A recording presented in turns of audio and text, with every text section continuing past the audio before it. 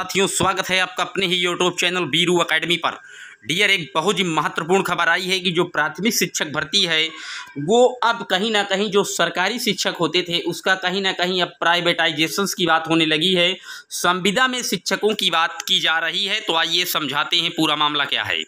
ये आप देख रहे हैं, आज से दो तीन वर्ष पहले जब योगी सरकार का गठन हुआ था, तब उन्होंने निकाला था कि समूह खा व गा की भर्तियों में बड़े बदलाव की तैयारी में है प्रदेश सरकार। अब पाँच वर्ष की संविदा से शुरू हो सकती है सरकारी नौकरी। हालाँकि इसका बहुत बड़ा जब विरोध हुआ तो जब दोबारा चुनाव लगा था, जिसमें वर्तमान में फिर से मुख्यमंत्री योगी आदित्यनाथ जी प्रदेश में की कमान संभाले हैं, उसके पहले जब चुनाव लगा था तो उन्होंने इस प्रोसेस को कहा था कि बिल्कुल ख़त्म है, उस प्रोसेस पर हमारा कोई विचार नहीं है। लेकिन अगली जो खबर है डियर वो आज ही की है।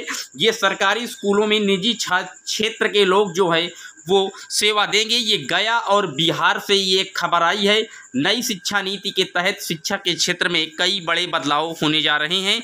ये केंद्र सरकार की एक विद्यांजलि योजना है। हालाँकि इसी की तर्ज पर उत्तर प्रदेश ने गार्गी योजना को शुरू किया था और इसके लिए किसी भी प्रकार से न बीएड न बीटीसी न टीईटी पास किसी भी प्रशिक्षण की कोई आवश्यकता नहीं है तो कहीं ना कहीं ये एक निजीकरण की ओर शिक्षक भर्ती भी होने जा रही है डियर। तो ये बिहार से अभी तक खबर है, जो कि केंद्र सरकार केवल लागू करने जा रही है। अभी राज्य सरकार इसका फैसला नहीं लिया है, लेकिन हो सकता है भविष्य में कि प्रदेश की राज्य सरकार भी इस दिशा में काम करे। हालाँकि उत्तर प्रदेश ने गार्गी योजना जो लाई है, वो इसी की तर्ज पर है, जैसे कि केंद्र में जो है वो आप कह सकते हैं विद्यांजलि योजना है। तो ये अपडेट वीडियो था, कैसा लगा ज़रूर बताइएगा।